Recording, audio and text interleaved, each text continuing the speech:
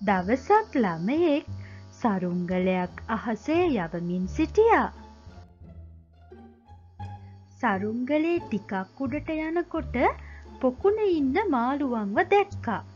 ඔයාලට පේනවද මං අහස පාවෙනවා. ඔයාලට නං හැමදාම ඉන්න වෙන්නේ ඔය පොකුණෙමයි. කියලා මාළුවන්ට ඇහෙන්න හයියෙන් හිනාවුණා. සරුංගලේ තව ටිකක් උඩට යද්දී සමනලයෙක්ව දැක්කා. මේ මං ඔයාට වඩා උඩිනුයි ඉන්නේ. සරුංගලය සමනලයාට හිනාවෙවී කිව්වා.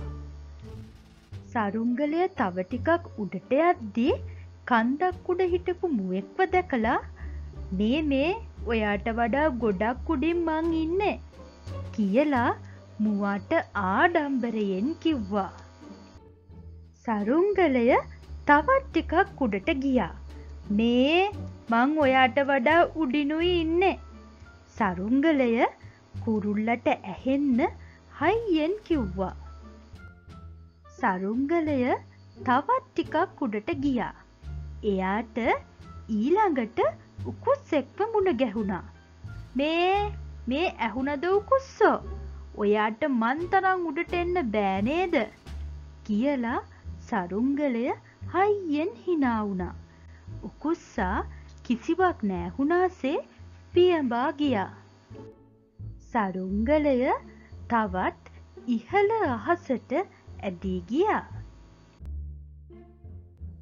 සරුංගලයට සුතු වලාකුලක් මුණ ගැහුණා. මේ මං ඉන්න ඔයා ළංගමයි මට තවත් උඩට ඇත හැකි. සරුංගලය සුතු වලාකුලට හිනාවුණා.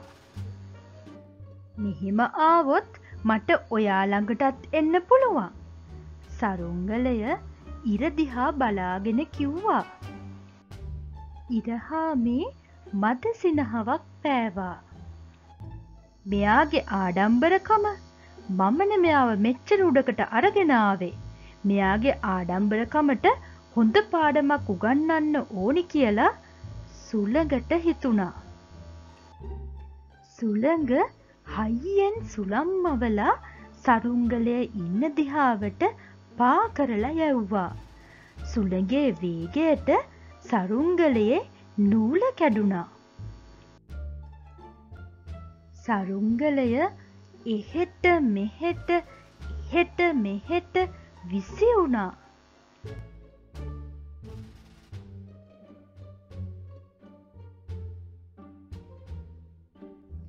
වැස්සක් නැති ගස්කොලං අඩු පාලු තැනක උකුස්ස ජීවත් වුණා. ඒ ජීවත්වෙච්ච ගස උඩ සරුංගලය නැවතුණා. යාළුවේ වැඩිය ආඩම්බර වෙන්න එපා යැයි පවසමින් උකුස්ස එතනින් පියඹා ගියා. සරුංගලයට ගොඩාක් ලැච්ච හිතුණා. අහංකාරකම හොඳ නැති බව වැටහුණා.